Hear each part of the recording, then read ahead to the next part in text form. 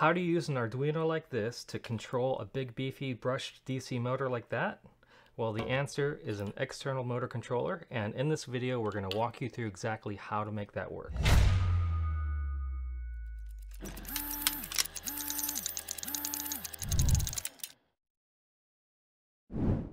So why do you even need an external motor controller? Why can't you just control it from the Arduino?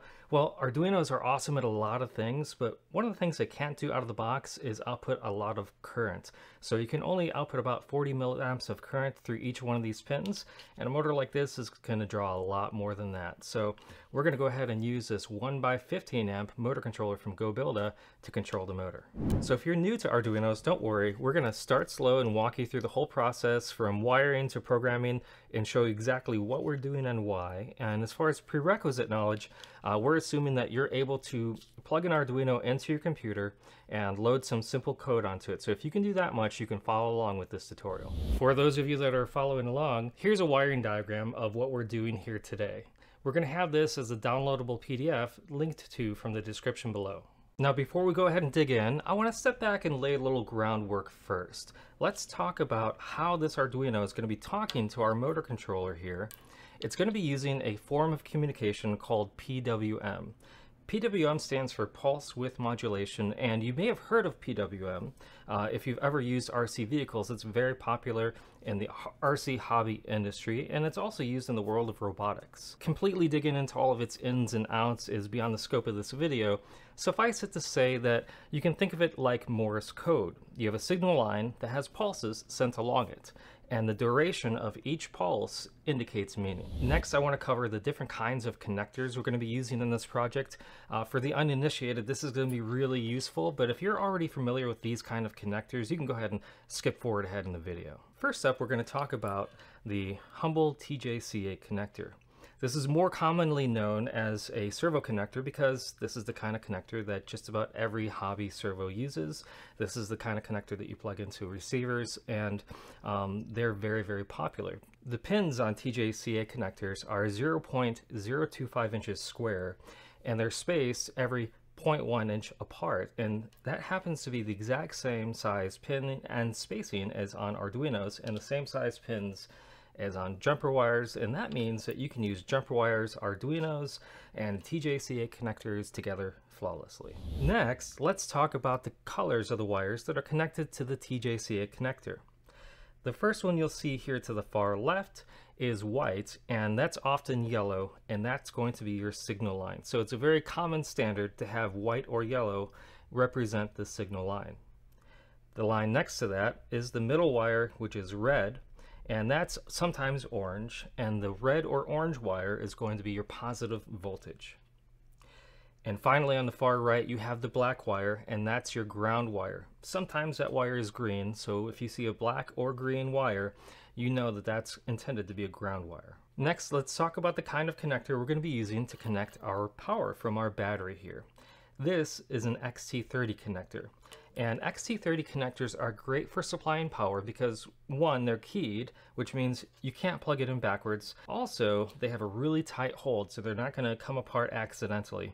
Um, and finally, the amount of current they can carry is great for supplying power to your entire project, assuming your entire project needs 30 amps of continuous power or less, uh, hence the 30 in the name. And finally, as far as wires go along, we're going to talk about bullet connectors. Bullet connectors are what's used on this motor, and bullet connectors are commonly used for motors in situations where you do want to be able to swap their orientation, unlike an XT30. So you wouldn't want something like an XT30 on your motor because you wouldn't be able to switch it around because the XT30 is keyed. Now, why is that useful on a motor? Well, brushed DC motors will simply change the direction of their uh, rotation based on the orientation of your wires. So if you're brand new to using motors like this, don't worry, plugging the motor in backwards won't actually hurt it uh, unless you're going to drive it into something physically in your build, but it'll just change the direction of rotation. Next, in the category of groundwork laying, I do want to talk about motor controllers in general, and this one specifically as well. Uh, motor controllers, sometimes you hear called speed controllers, and sometimes you hear them called electronic speed controllers, and sometimes you hear that abbreviated to ESCs. Now, usually when you hear ESC, that's a motor controller that's designed for a brushless motor, but that's not always the case. There's nothing about electronic or speeder controller that ties it into just brushless motors. Uh, and usually when you hear motor controller versus speed controller, usually that motor controller has a few more features than the speed controller, but that's not always the case either. We're going to go ahead and use those phrases interchangeably here because by definition, they're pretty much all exactly the same thing. So let's talk about this particular motor controller that I'm using. This is a Gobilda 1 by 15 amp motor controller. Uh, 1 by meaning that it's one channel as in it's intended to control one motor. Now if you have multiple motors you can connect them using Y harnesses off these bullet connectors and as long as the total amount of current that they're drawing is within the range this motor controller can handle, you're totally fine. Um, 15 amps means that it can uh, supply power up to 15 amps continuously to that motor that's pulling the current. And I like this over a open, unprotected motor controller. Um, there are a lot out there that don't have a case on them, that don't have, you know, big beefy mounting holes. Uh, this one lets me position it where I want it to be within my project and bolt it down. And the case gives it a lot of protection from loose screws or dirt or whatever is going on in your project. Um, so uh, there are motor controllers that are shields for Arduinos that plug right into the top but I know that this is going to be super robust and I can keep adding more and more without uh, potentially getting in the way of the other electronics that are going on in my build. To power this project, we're going to be using a 12 volt 3000 milliamp hour battery. Uh, this is a nickel metal hydride battery and has a 20 amp fuse built into the red power line here. Finally, let's talk about the motor that we'll be using. This is actually a gear motor because we have a brushed DC motor here. And then we have a gearbox here. This is a really beefy planetary gearbox, and this particular series of motors is the 5203 series uh, Yellow Jacket planetary gear motors, and we'll put a link to these down in the description. These are awesome motors. You might want to check these out for your next project. Uh, but they supply a ton of torque or a ton of speed because we have a lot of gear ratios available for you to choose from. On the output shaft here, I have a hub, and I simply threw that on there to make it easier to see the rotation once we get going with the code. All right, let's dig in and start wiring this thing up. Uh, one of the first things you want to do is consider your power situation. Um, I have a 12 volt battery, and that will indeed work for an Arduino, although it seems a little counterintuitive that a little electronic device like this will run on uh, that much voltage. Uh, usually small electronics will want like 3.3 or 5 volts, but it's definitely within their safe uh, voltage range that they recommend for an Arduino Uno. Uh, and that's because it's got a little step down voltage regulator built into the board, which makes it really nice. So I can just plug in this 12 volt battery and that's gonna power my board. But I also wanna power my external motor controller so I'm going to use an XT30 Y harness so I can go ahead and power two different devices from this battery very easily. Um, I'm going to go ahead and plug this into my motor controller and I'm not going to plug it into the battery just yet. I'll save that for last. So we're thinking about power first, but we're going to actually plug in the power last. To be able to connect this to the Arduino, I'm going to use this little adapter here. That converts it from XT30 to another TJC8 this particular TJC8 is referred to as a TJC8 power because it doesn't have the signal line. It just has the two power lines. And because it's TJC8, I can then go ahead and very easily plug in jumper wires so that I can plug it into my Arduino. So the red power line is going to go into VIN on the Arduino. Next, I'm going to plug in my ground wire to one of the many ground pins. It really doesn't matter which of the ground pins you plug it into, all the grounds will be connected. So plug it into one, just as good as plug it into any of the other ones. So we have our power all ready to go. I'm gonna wait to plug in the battery like I mentioned, but next we're gonna move on to getting that signal from the Arduino over to the motor controller. So I have a white jumper here, and I'm gonna plug that into pin number nine. So you'll notice on the side and on the board here of this Arduino that there are tildes, little squiggly lines next to certain pins. And that represents the fact that that pin is capable of outputting a PWM signal. So you don't have to use pin number 9, that's what we're using today, but you could use any of the other pins that uses a squiggly line, one of those tildes. So we're going to plug in that pin number 9 into the signal line of the TJC8 that's feeding into our motor controller. Then, because all of your grounds really should be connected across different multiple electronic devices, we're going to plug in a black jumper wire to the ground line on that TJC8. And we're going to plug the other end of that into any of the grounds on your Arduino.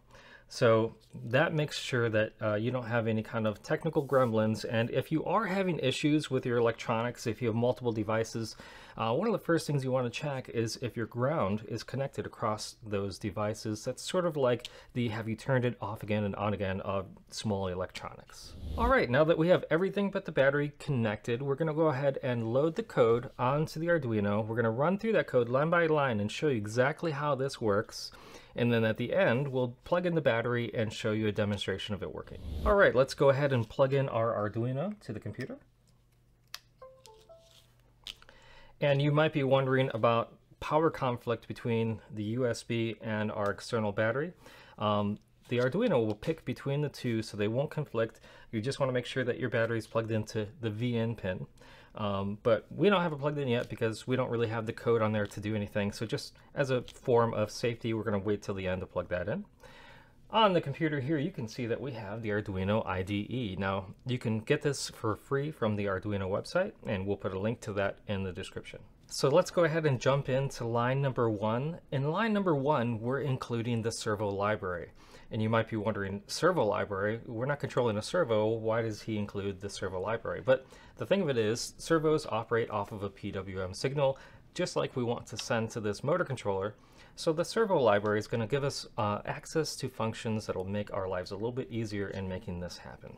Moving on to line three, we're going to utilize the fact that we've included that servo library by creating a ESC underscore one object. So this is an object that was made from the servo class and I'm putting ESC because it just keeps things a little bit cleaner than writing out motor controller or electronic speed controller or anything like that. It just keeps it nice and tidy. Uh, I'm putting underscore one in there because I want to think about this in a way that I can reuse this code for other projects where I might have additional motor controllers. So if I wanted to, I could just like copy this and paste it down here. And now this one's ESC number two and so on and so forth. Um, and then I would need to make additional changes down below, but we'll leave this here just as our imaginary second uh, channel.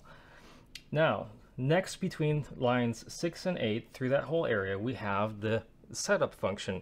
Uh, if you're unfamiliar with Arduinos, this function will run when you turn the Arduino on.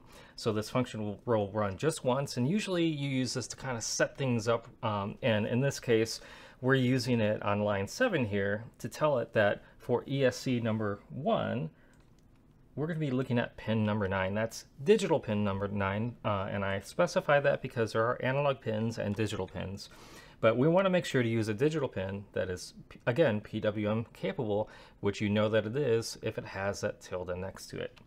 Uh, we'll go ahead and continue with our imaginary second channel, just so you can kind of see the process. And we'll put that on pin, let's say 11. All right, moving on rows 11 through 13 have our loop function. Like I said, the Arduino always runs the setup function and it runs it once at the beginning and then it moves on to running the loop function. And as the name would imply, when it gets to the bottom, it goes back up to the top and it just keeps running and running that same function. So within the loop function, we are going to call a function called set ESC power. Now this is a custom function that I wrote for this video that you're free to use and we'll put a link to the code in the description below. Um, but I just wanted to have something that uh, very cleanly encapsulates the things you need to do every single time you're sending a command to this motor controller to change the speed or direction of the motor. So this function has two variables that you're passing it. The first variable is which motor controller you're sending this to, essentially which pin this is going to be going to. So this is going to ESC underscore one. Uh, and again, if I wanted to send that to our second imaginary motor controller, I could change that to underscore two. And then we also have a second variable here, and that is for the amount of power uh, we're sending to the motor. So I set this up so you can send send anywhere between negative 100 and positive 100 to represent going full speed backwards all the way up to full speed forwards and zero would make the motor stop. So um, we're going to go ahead and use that. And so right now it's zero. I could go ahead and put this to 100 so that when we run this on our board, we'll see something actually happen. Since the set underscore ESC underscore power function is where all the magic happens, let's go ahead and dive into that uh, line by line. We'll take a look. Uh, so the first thing that we're seeing here is these are the variables that we're getting uh, passed in from up above. And so within this function, we're calling it just ESC because it could be ESC1, ESC2, we don't know, and it doesn't matter. So we'll, we'll just use this variable to represent whatever ESC uh, that command should be going to. And then we have our power variable, again, being passed in from up above. So this power variable, the first thing we want to do is make sure that that actually fits within the range that we want it to be within. So we're going to use the built-in function uh, constrain to say, hey, this function here, or this variable here rather, should be somewhere between minus 100 and positive 100. And if it's not, it's kind of just going to brute force it into that range. Um, so if I accidentally type 1000, it'll just bump it down to 100. Next, we have our signal underscore min and signal underscore max. Now, this function assumes that all of your motor controllers are using the same PWM range, so you have multiples of the same motor controller. Uh, if that's not the case, you can certainly bump this up to being a variable that you pass in or something like that. So what are these numbers? What does this mean? Well, do you remember when I was talking about PWM signals and how it's basically a pulse being sent along a signal line and the length of that pulse has meaning? This represents the minimum and maximum length of that pulse. That's literally what this is. And anything that you use that uses PWM signals uh, has some sort of minimum and max. And any kind of uh, motor controller or servo or anything that uses PWM ranges on our website on gobilda.com will have that PWM range listed on the product page in the specs table. So you're going to want to look up the PWM range for whatever motor controller you're using, but because we're using a goBILDA motor controller, finding that information is going to be very easy. So on this particular motor controller, we have a minimum signal width of 1050 and a maximum width of 1950. So next on line 19, now that we know what the number is between minus 100 and positive 100, and we know the minimum and maximum PWM range that we want to send out to the motor controller, we want to map that number from the power to that PWM range. On line 19, we're using a cool little function called map. I use this all the time when I'm working with Arduinos. And what map does is it takes a variable that you pass it and it looks at two different ranges. And it takes that variable, it looks at where that variable is proportionally within the first range. And then it figures out where that should be proportionally within the second range. So we're using it here uh, to figure out what our output signal should be. So our variable that we're creating is signal underscore output. We're passing in the power as our variable that it's going to mutate and pass back into that signal output placeholder there. The range that we're coming from is negative 100 to positive 100. And the range that we're going to is that PWM range, that signal underscore min and signal underscore max. So map's going to do all the heavy lifting there to figure out what our output PWM signal should be. Finally, we're going to use that servo object, the ESC, that were passed in from up above, and we're going to use this little function that's built into that called write microseconds. The write microseconds is going to save you a lot of time and be a really nice clean way to output a good PWM signal on that PWM capable pin. So we're just simply passing in one variable. We're passing in that signal underscore output. That's the number that we figured out represents the speed and direction that we want that motor to go. All right, now that we've gone through that code top to bottom, let's actually take advantage of it and we'll do a little demo. So I'm gonna hop back up here to our loop. And today in this example, I'm just going to take this line 12 and duplicate it and change the value and add a delay of half a second in between each one, just so it's very easy for those that are new to code to read through this line by line and see exactly what's happening. But this is probably not the way that you would want to use it in your project. Um, I would encourage you to learn about for loops, and we're going to link to both this example code that we're using in this demo right now, as well as a more elegant solution using a for loop in the description below. So let's go ahead and load this code on our board. Compiling, uploading, and done. So now I'm going to unplug the board from the computer and plug in our 12 volt battery. And we should see the motor here have these steps of speed.